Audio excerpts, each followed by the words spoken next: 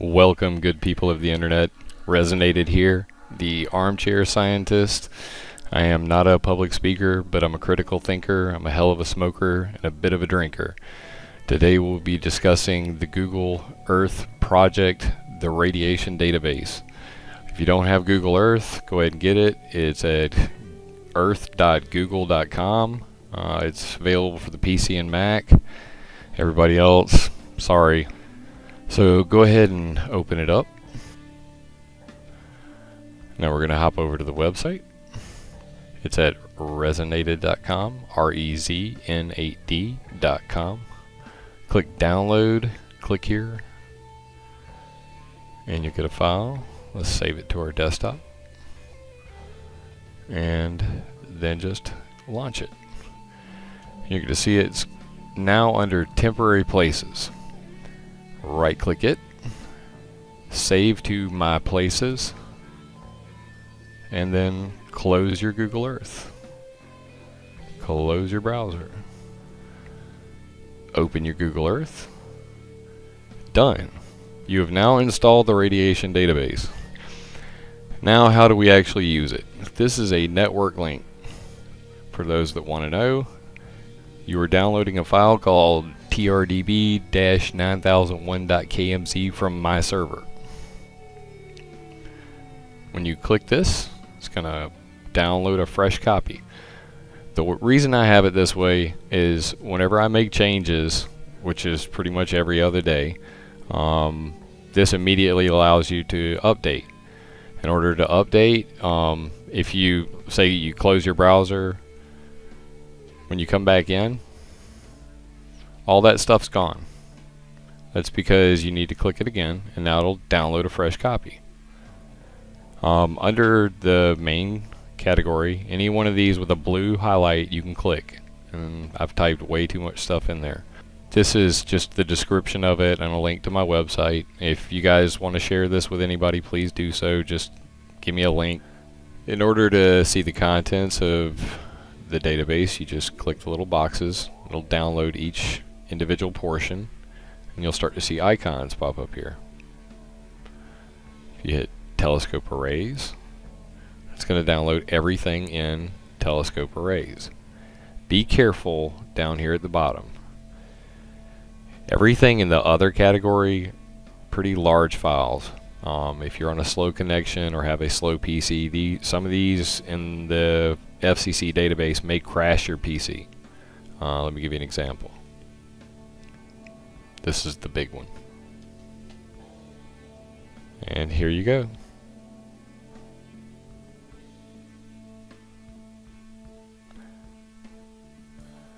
Now I'm on a Intel Core i7 PC with a whole lot of RAM and a good video card. I have no idea what this may do to other PCs, but I can assure you that it's slowing mine down.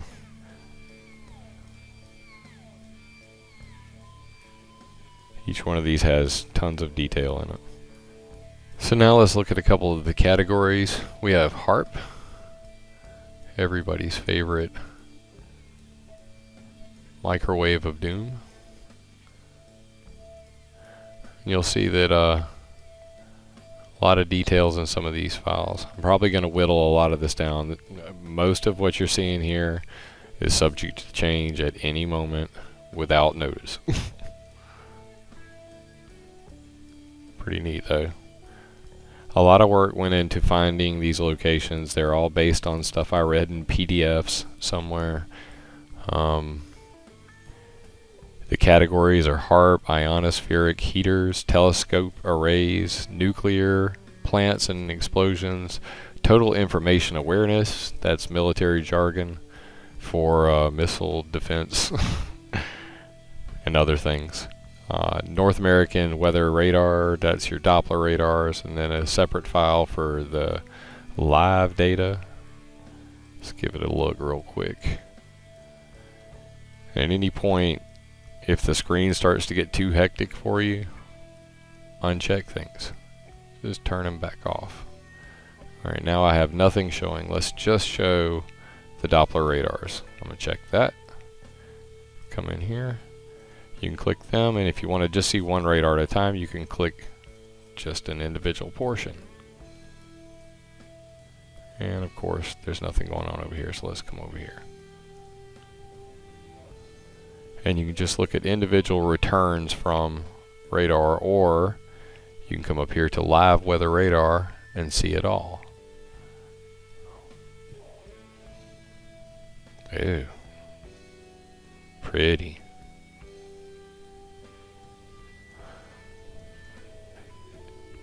Uncheck those. Let's come down here to the other category. Works in progress is stuff that I'm currently working on. Now there's a lot in here. And I do mean a lot. GWEN stations, um, lasers and observatories, all of the polar stations, um, just tons of stuff. EMP, you name it. But um, this is stuff I'm working on. Uh, this is on the back burner because I'm busy revising all the stuff up here that is just a mess at, the, at this point. It's so hectic. So let's turn that off and go to For the Lulz. I'm going to point out a couple really, really interesting things in the Lulzy add-on. Lulz are for fun, for fun, for the lulz. Let's go to FlightWise tracking, or what I like to call the chemical trail tracker. Hold on to your seat, guys. When you load the FlightWise tracker, when it finally loads, it is now loaded. There will be a bar that appears up here. This is your timeline bar. As you'll notice, the planes are moving. What we're going to want to do is pull this all the way over. Pretty neat, right? And this is going to show you all of the flights for the day. And we're going to pull this other bar back. You see what I'm doing? So when you're done, you should have one bar all the way over here, one bar all the way over here, and it'll show you all of the flights for one day.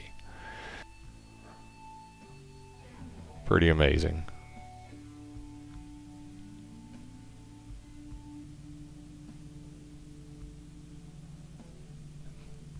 This stuff has blocked 20% of the sunlight over 40 years. It's called global dimming. Look it up. To the next category, real-time satellite tracking. Oh, this is fun. Watch this. Very, very neat stuff. That's a lot of satellites. Great Scott. Pretty neat, right? That's a lot of satellites. And all these aren't actual satellites. If you come down here and expand it, you'll see active satellites, inactive satellites, debris, and rocket bodies. How many rocket bodies are there? Just curious. That's a lot of rocket bodies. So am I to believe that these are all leftover rockets? Anyway. Then we have debris. So this is space junk. You know, they're making an ion beam over in Europe to blast these out of the sky. Pretty cool, right? I think so. And then inactive satellites. These are satellites that I guess used to have a function but just don't cut the mustard anymore. Sure is a bunch and then active satellites. And we can clearly see the ring now. There they are. See? Intelsat.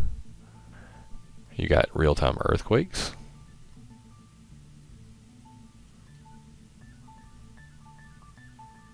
Pretty cool with linkable data. You got volcanoes. I think these are pretty neat. Did you know there are this many volcanoes they don't call it the Ring of Fire for nothing, people. Any help you guys can give, I would love to have it. Um, I'm going to be working on this. Project that I just enjoy doing. Uh, I'm fascinated by radars and resonations. uh, submit your corrections if you see where I made a big boo-boo and did something wrong.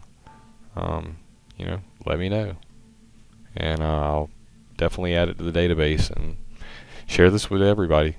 As a preview, I just wanted to show you guys what I'm working on. This is a browser version of the radiation database I'm working on, which will allow you to view the database anywhere on the internet, but I'm running into some problems with some formatting. So, gonna be a little while before it's done, but the project's working.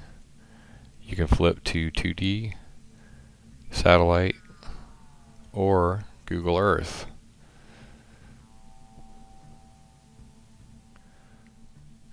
Special thanks to War on Air for covering my project. I do appreciate it.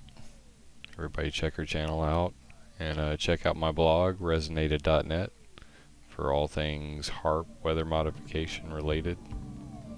Thank you for watching the video.